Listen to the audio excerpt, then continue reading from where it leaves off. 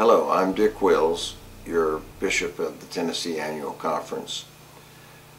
This year at Annual Conference, we're doing some marvelously new things because of the technology advances that have made this, these new things possible. Um, I want to introduce to you a new media site for the 2008 Annual Conference meeting. You'll find it right on the home page, which is, I'm sure you all know, tnumc.org. Now this new site is where all of the AV resources and all of the reports for the annual conference will be.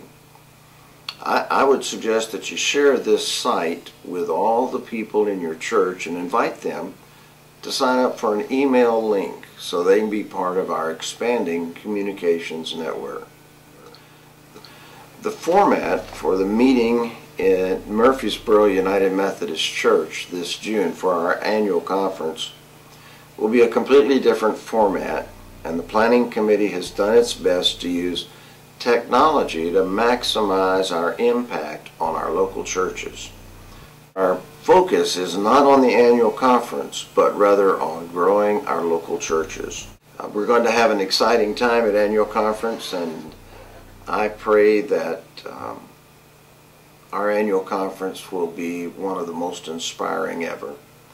And I invite you to begin now with your people, inviting them to pray uh, for God's Holy Spirit to be a part of this annual conference so that when we walk away at the end of annual conference, uh, we know that we're a part of something greater than ourselves, an outpouring of the Holy Spirit that will touch every one of our churches and make them more obedient to what God desires in each of our congregations in this day and time. This.